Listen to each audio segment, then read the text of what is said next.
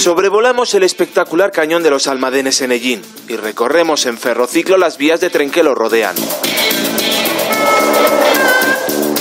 José Luis es el creador de este vehículo construido para recorrer vías de tren que ya no se usan, como estas. Él las conoce bien, tanto que ha abanderado la lucha para recuperarlas. Descubrí pues, el enorme patrimonio que había, que estaba sin aprovechar. Nos ha costado 25 años hacer ver y convencer de que efectivamente esto era una apuesta clara, eh, algo totalmente consolidado en Europa. Por ejemplo, en Francia, aquí al lado, hay más de 50 explotaciones comerciales de velorraíles. Y con esa idea, las vías y este entorno, se va a desarrollar un proyecto pionero de turismo sostenible que combinará el tren con rutas a pie. Será la primera vía verde de toda España con tren. 11 kilómetros de vías en desuso que servirán para trasladar a los turistas a las rutas a pie. Este proyecto supondrá un impacto económico en esta zona de Castilla-La Mancha muy importante. Atraerá a 320.000 turistas al año.